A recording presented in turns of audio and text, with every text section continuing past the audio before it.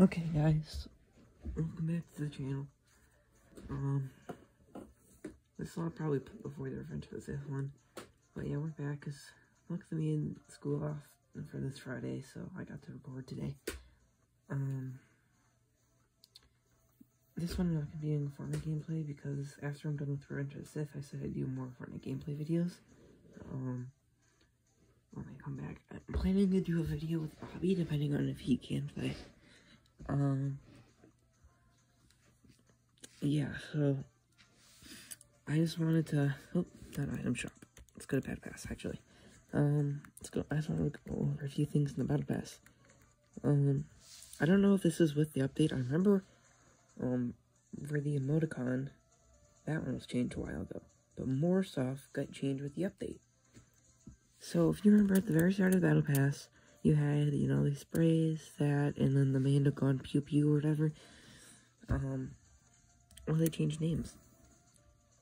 Um, also, one more thing, I also got to level 100 yesterday, so that's pretty cool. Um, but yeah, if you look at the spray, I'm moving over so you can see everything. It was originally called The Journey, now it's called Protector. This loading screen was called the Gunslinger, and now it's called Mando. Um, let's go to the end of Battle Pass. Oh, okay. Get to this thing. This was called Mando before. Now it's called This Is Sweat. I don't know why they changed it. There's really no reason for them to do that. But they did, so...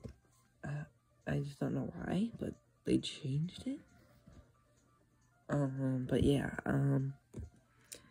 Wanted to a video on that because I didn't know if that was like. I mean, you didn't. I might have been wrong. Maybe they weren't called that, but I'm pretty sure that they were all called different things in the beginning. Because I definitely don't remember that loading screen being called Mando.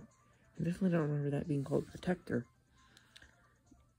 Um, I might be wrong, but I just wanted to make a video on that because I'm confused.